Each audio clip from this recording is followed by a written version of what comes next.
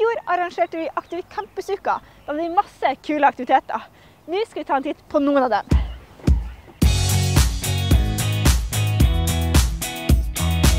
Her på øya hadde vi linjeføringsstafett, og der bak i Trondheim Spektrum hadde vi trippelturnering. Der konkurrerte vi i goalball, slåball og bumperball.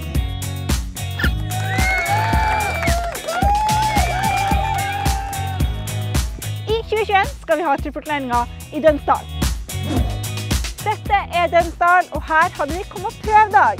Der kunne man teste ut fekting, taekwondo, rugby og rumpeldunk. Hver morgen hadde vi aktiv start. Da løp vi campusrunden.